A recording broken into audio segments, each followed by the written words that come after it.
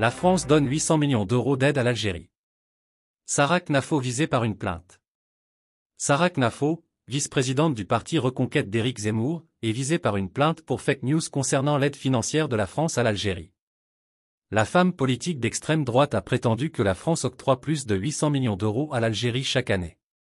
Dans un tweet publié le 20 mai 2024, la compagne d'Éric Zemmour a dénoncé Comment peut-on donner 800 millions d'euros d'aide au développement à l'Algérie chaque année, alors qu'elle refuse de reprendre ces clandestins qui sont parfois des bombes sur pattes Cependant, l'information s'est avérée être fausse.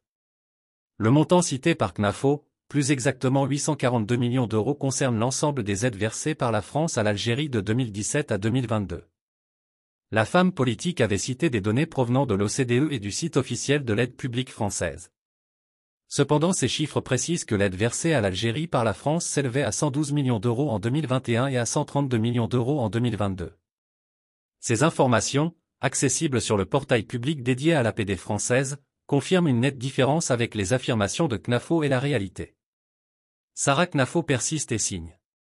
Samedi 21 septembre, l'avocat Nabil Boudi a annoncé sur X son intention de porter plainte contre la militante d'extrême droite pour ce qu'il qualifie de diffusion d'informations erronées. Pour Maître Boudi, les chiffres avancés par CNAFO étaient inexacts et risquaient de fausser le débat public. Il a exprimé son indignation sur les réseaux sociaux, soulignant que ces informations pourraient être utilisées pour promouvoir une vision déformée des finances publiques en France. En réponse aux accusations portées contre elle, Sarah Knafo semble apporter des précisions à sa déclaration, Veuillez m'excuser, j'ai dit que l'Algérie avait reçu 800 millions d'euros d'aide au développement grâce à la France. En réalité, c'est plutôt 842 millions d'euros, et seulement de 2017 à 2022.